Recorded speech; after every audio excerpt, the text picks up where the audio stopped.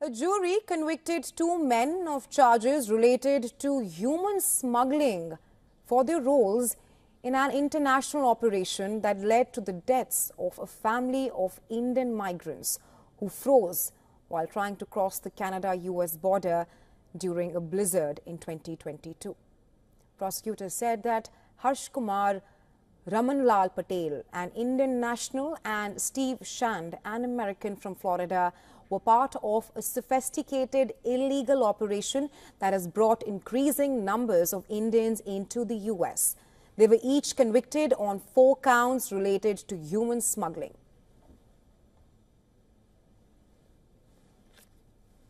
This trial exposed the unthinkable cruelty of human smuggling and of those criminal organizations that value profit and greed over humanity. To earn a few thousand dollars, these traffickers put men, women, and children in extraordinary peril, leading to the horrific and tragic deaths of an entire family.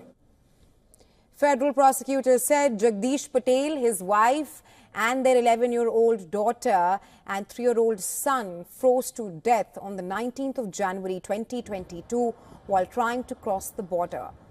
As a part of the scheme, Patel and Shand allegedly organized.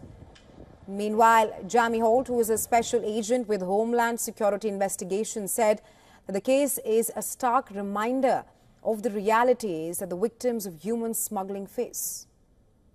Human smuggling is a vile crime that preys on the most vulnerable, exploiting their desperation and dreams for a better life. The suffering endured by this family is unimaginable, unimaginable, and it is our duty to ensure that such atrocities are met with the full force of the law.